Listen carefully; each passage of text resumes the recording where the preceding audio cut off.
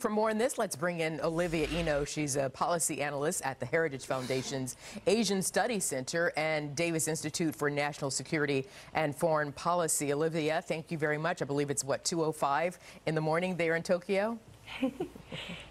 It is very early in the morning. Thank you so much for having me on. I'm glad to have you. Oh, Oyasumi Nasai. Okay, so U.S. officials signaled that this would happen for the sake of continuing this diplomatic dance with dictator Kim Jong-un. The U.S. and South Korea, as Ellison just reported, canceling their massive springtime military drills. So, Olivia, how costly is this concession?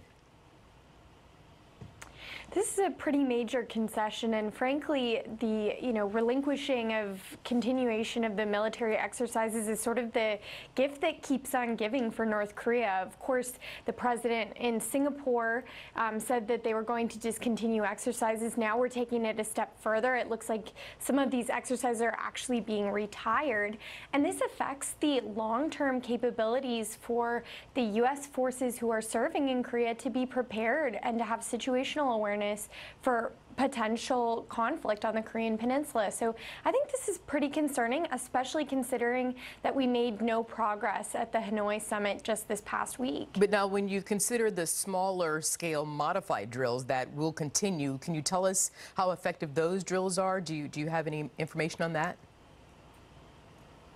Sure. So the smaller scale drills are certainly effective, but they're not going to necessarily be, um, you know, replicating the larger scale military related elements that you would be replica replicating in those larger military exercises. And so I think this is really concerning because if you were to have large scale conflict on the Korean Peninsula, you wouldn't have the U.S. and South Korea really being prepared in a way that we have always said is meant to be a proactive measure.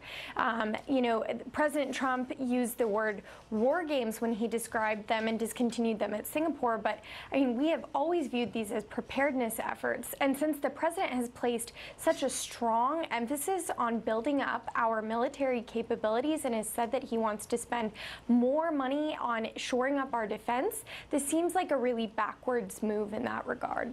Meanwhile, the second summit with Jong un, President Trump walked away from the table without chips to cash in. Was this the right gamble? And what is President Trump's next play? I think we came to the negotiating table in Hanoi too soon. Uh, it, it is clear now that the deal that they discussed in Hanoi was not pre-negotiated and we didn't get what we thought we would get out of it. I think, you know, we are frankly no closer to a denuclearized North Korea today than we were when we left the Singapore summit or even prior to the Singapore summit. And I think what makes this even worse is not only have we not made progress on denuclearization, but the president once again shied away from raising these important human rights issues that represent a broader corpus of our comprehensive policy toward North Korea.